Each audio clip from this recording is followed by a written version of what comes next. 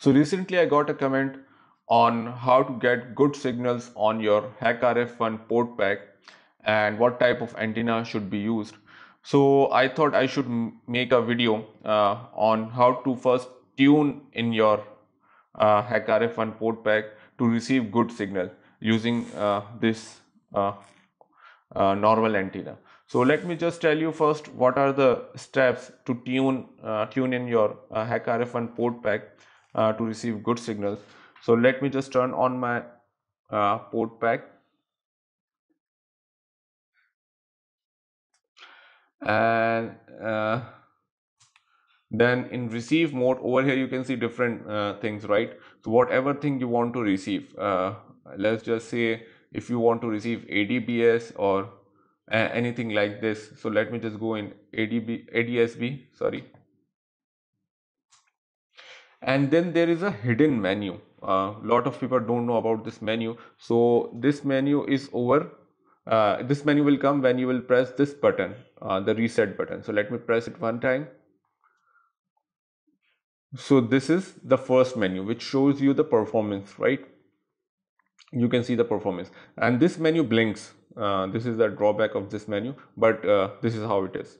And then you have, you have to press it one more time to get another menu now then there is a radio setting menu. And over here uh, there is RX saturation. If you can see it clearly I suppose. Let me just see. This is RX saturation. So what you have to do is you have to increase the saturation to around uh, 75 uh, to 85 in between so this menu blinks and this saturation will also blink. Let me show you one more time. Uh, so let me increase. So over here you can see that uh, the saturation is increasing right? So it should be around uh, uh 75 to 85 right? So it's now 25 28 27 let's just increase the amplification as well.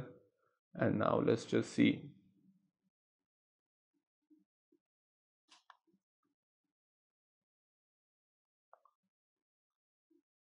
So it's 62 and uh, let me just decrease.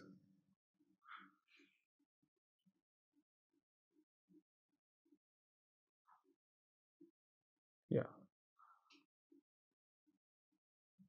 so now you can see the saturation is around 75 to 85 in between 75 to 85 you will not get exact saturation because of the wavelength so see and the saturation will always vary. So it should be around 75 to 85 so this is uh, the hidden menu radio settings and this menu will come in all all the receiving things right? So you can use this menu uh, to change the saturation value and then you can receive good signal don't make it uh, to 100% and don't make it less than uh, 60 or 70 percent. Uh, if you make it 100 percent you will receive nothing. There will be a lot of noise right?